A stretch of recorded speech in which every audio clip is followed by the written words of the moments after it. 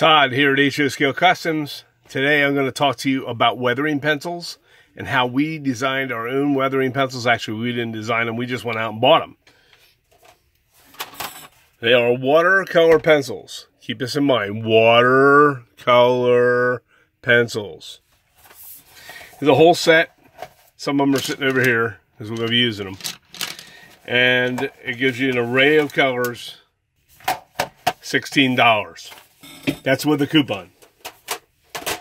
So I bought another set. Winsor Newton, a little higher end. Watercolor pencils with my coupon, 55% off. Cost me about, at the, any of the Hobby Lobby, wherever, you know, AC Moore, Michaels, whoever's running the best coupon special, go there. Any art supply place, they're going to have these. They're watercolor pencils. Do not buy colored pencils. It's not going to work. You're not going to get weathering effects out of colored pencils. All you're going to get is little pencil lines that you can't do anything with.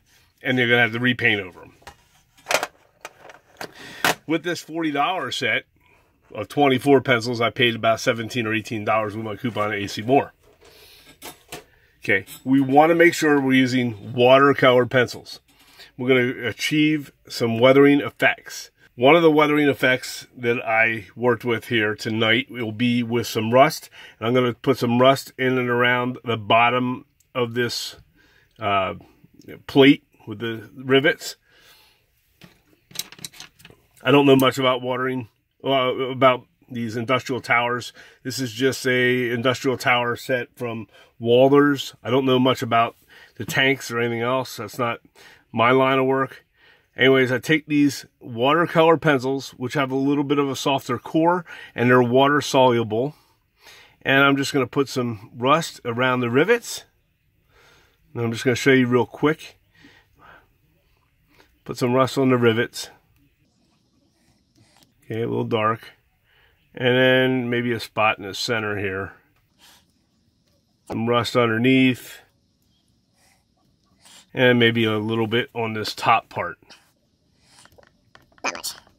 While we're at it, we can blend some colors. So we'll take like a, a brown or dark brown. Um, and this will be like a, a burnt umber, more of your darker rust. And just put a little bit there on the top, mix it in with it. Maybe put a little bit on the rivets or next to the rivets. And let's do a streak down from it. I'll do another streak. Go on this side and bump the camera. Okay, so what I'm going to just do is take a round brush like this. This is an Artist Loft paintbrush, nothing fancy. I'm going to dip it into some water and remove some of the water onto my paper towel in front of me. And I'm going to just drag down with a little bit of the damp brush, drag downward, and move my pigments. And you can push these pigments into the crevices, corners, wherever, but I want to drag them down to make it look like rust is running. And we'll just do it here. Let's take some of that off. You could, just like a paintbrush, you can you can remove some of the paint. Okay, and want to make sure we take some of the water off. And we're just going to diffuse diffuse our our paints or our watercolors around these rivets. Very simple, very easy. Get some streaking.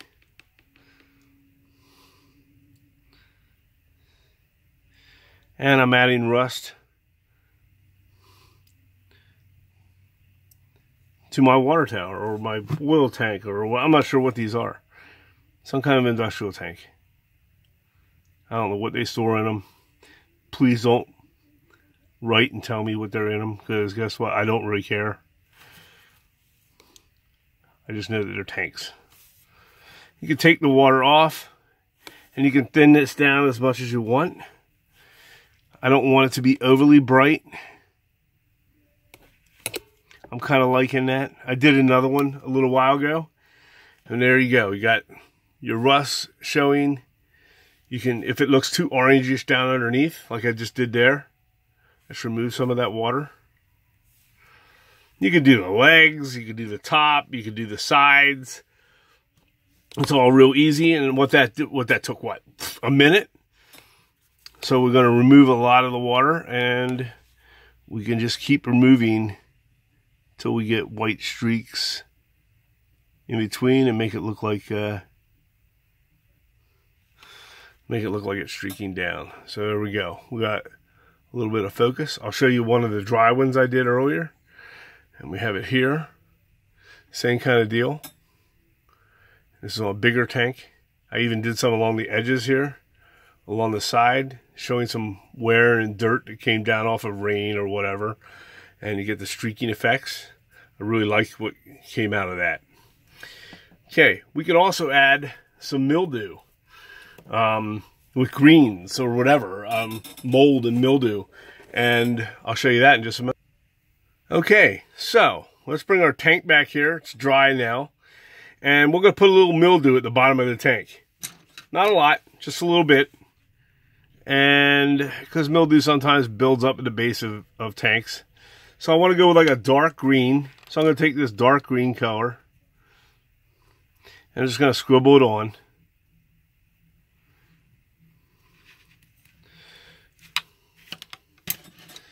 Let's go with another shade of green here. Now I'm just kind of blending my greens, uh, the green shades, and just trying to get some mildew color on it. A lighter green, uh, a more brighter mildew. And again, let's add some brown where the mildew starts to turn to old rotted mildew. We're just kind of blending the colors. Okay. And then I'll just take my water on my round brush. Actually, let's use a flat brush. A flat brush will work too. So we'll take it with our flat brush because here we're not really making streaks. We're making more of a mildew. And we can spread this out wherever we want.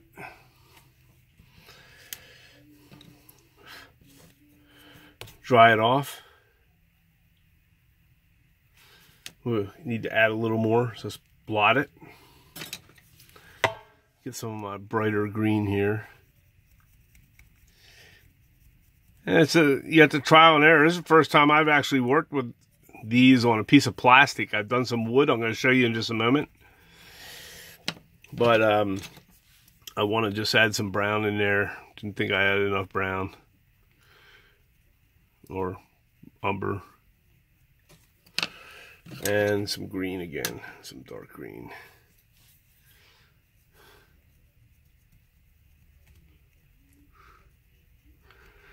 Alright. And again, take our water and take some water out of that. If you put too much water on, you'll totally diffuse it out and you'll won't see any of your any of your work. It'll just totally disappear, which is okay because you can make it go. You can make it disappear.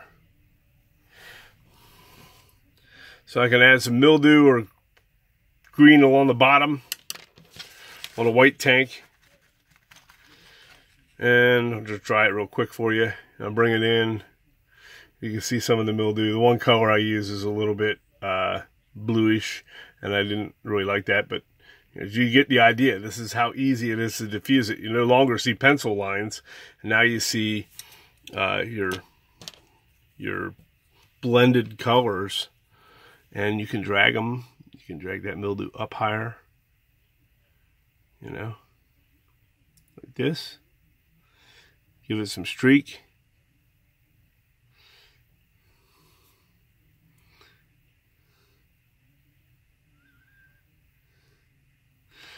Just kind of go like that and let it dry. And you'll see, uh, we'll come back to that.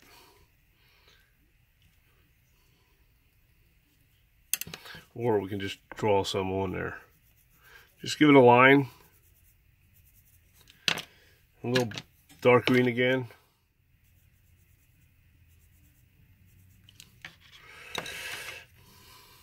If you want them higher take the water out and just drag it. Just diffusing it. You're taking the pigments and moving them to where you want them. And you get the mildew. Could have even made a darker green if I'd have dug in the box for it. But there you go. I'll show you what I did with mildew on a piece of wood um, from an old structure that I have. And I put some mildew stains on the actual wood itself. And I like how this stuff works with the wood. Unfortunately, I don't have any other wood to, on a kit nearby or close by where I could show you how that works. But um, I used some greens and yellows and burnt umbers. And then I diffused them and I gave this door this old moldy, crusty look. And I really, really like how that turned out. You can see it down into the greens. It was very, very cool. Um, anyhow, that's how that worked. So, as you can see, there's lots of things you can do with the uh, different shades um, of different colors that are available. And you don't have to go out and buy expensive weathering pencils. You can get this all done with a little work and a little imagination. And you can add your own weathering streaks. You can draw a line straight down, just like I did on this one in particular.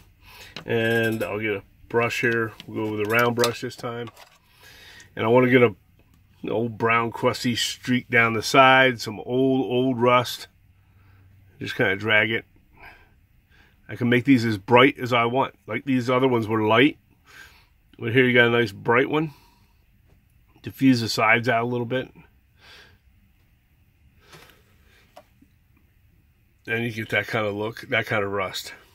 So that's it on that. So that cover, covers our watercolor pencils not colored pencils, used as weathering pencils. Something that you can, you know, definitely pick up at any craft store on a cheap and work with them and figure out how they work best on what mediums. Uh, I found I showed you tonight they work on plastic and they work on wood, um, and that's painted wood surface too, or painted plastic surface. Uh, definitely, it's something worthwhile to try out. So, if you like this video or any of our videos, hit the like and subscribe button down here. Okay, give us a like. Check us out at HO Scale Customs on Facebook. Check out the Bench Time podcast every Friday. We have a new episode come out and we have some awesome guests. We give tips and hints and tricks it's a good time. We have a lot of fun. It's about an hour long, and it's a weekly podcast every week. Check us out on Instagram at HO Scale Customs. Like us there as well. We also have uh, thousands of photos on there that we put in over the last couple years um, to check out. And, uh, you know, there's also some tips and such there. Thank you very much. Peace out.